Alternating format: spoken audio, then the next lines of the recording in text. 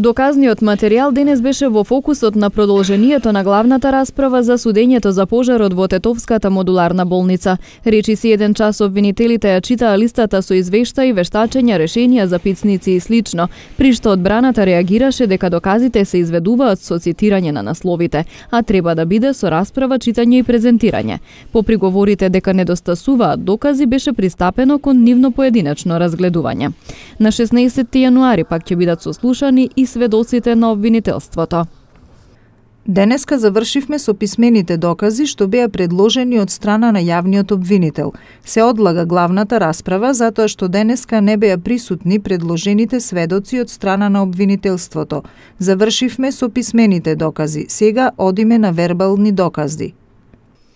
Инаку на 7 декември, кога започна главната расправа, обвинетите се произнесоа дека не ја признаваат вината за кривичното дело за кое се товарат. Поранешните директори Флорин Бесими и Арта Нетеми за тешки дела против општата сигурност, доктор Бобан Вучевски за непостапување според здравствени прописи за време на епидемија, како и правното лице клиничка болница за истите дела.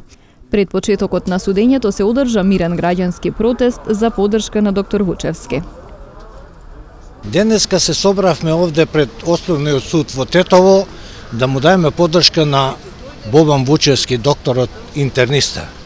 Затоа што за време на кризата, која што демнееше на сите нас, он го даде својот максимум и покажа како треба еден доктор да изгледа во Република Македонија и човек кој што се грижи за граѓаните. Затоа ние денеска повикуваме јавното обвинителство да размисли за нивните предлози и судијата каква одлука ќе донесе. Во ниеден случај не сум да се амнестираат виновници. Меѓутоа, вистинските виновници не се кријат овде денеска во судот. Тие треба се најдат таму кај што се. А тоа се они, овие до, лекариве, да се работи за лекарска грешка е во ред Овде не се работи за лекарска, за техничка грешка, за која треба да одговара некој друг, а тој друг се знае кој е. Авторите на овие објекти што ги дигаа низ Македонија.